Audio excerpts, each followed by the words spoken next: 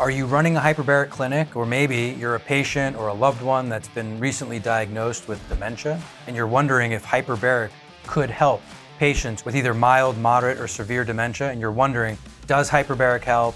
Can hyperbaric help? And if so, what are some of the benefits or changes we might expect by applying hyperbaric for patients diagnosed with dementia? That's what we're going to cover in today's video. Now, hyperbaric is absolutely part of that conversation that we'll cover today. I also just want to say broadly that hyperbaric is not the cure for dementia or Alzheimer's.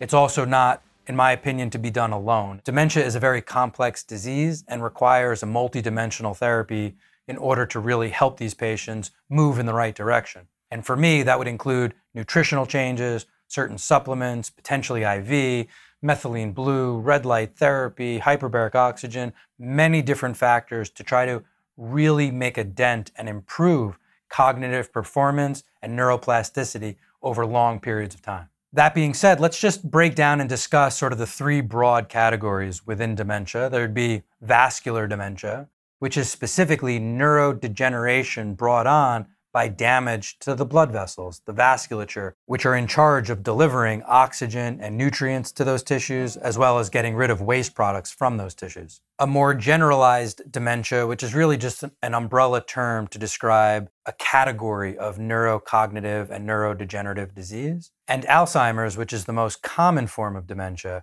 which is categorized by accelerated neurocognitive changes, accelerated memory changes far beyond what would be considered normal for somebody's age, and also associated with very specific brain changes that can be measured through diagnostic testing or postmortem.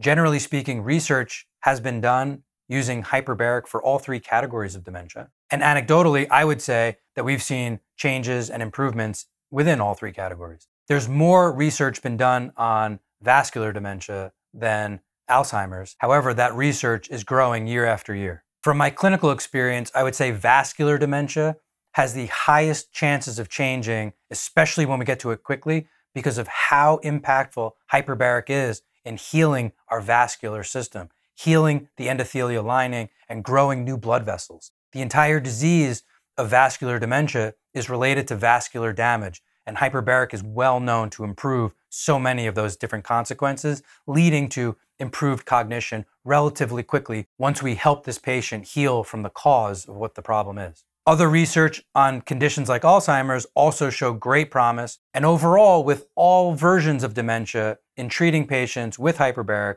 we would typically see improved cognition, improved memory, improved cognitive processing speed, improved movement patterns, both in fine motor skills as well as gross motor skills, things like walking and balance, but also in other things like reading and writing.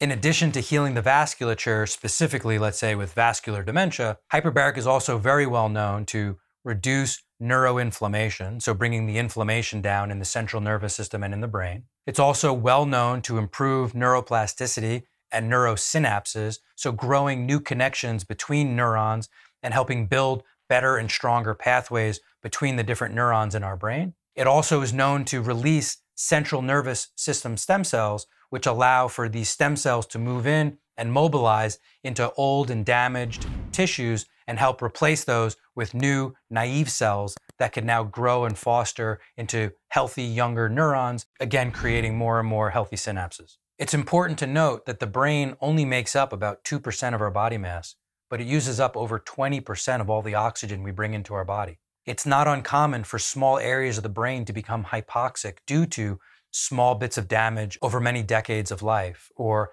for inflammation to be blocking the normal transmission or delivery of oxygen from our blood supply to our brain tissue. And as a result of even small amounts of hypoxia, brain tissue can downregulate function very quickly. By creating an environment that allows such a high level of oxygen to be delivered to these tissues, it can literally help wake up and improve the function of dormant or damaged tissues, helping to improve brain function over a series of these treatments. There's really no absolute treatment for any type of dementia. And even if we see great changes that we're looking for with hyperbaric, it's not the cure, the treatment of the disease, and it is something that would require maintenance over time. A standard protocol for somebody with dementia would be at least 40 hours of treatment over the course of about eight weeks. That would just be the initial introduction of hyperbaric oxygen to that person, and assuming we start to see the changes that we all hope and expect to see, there would be some type of ongoing care necessary for years and years because this disease is not one that is typical to stop. And therefore, if we can start to halt some of the changes and the symptoms that we're seeing,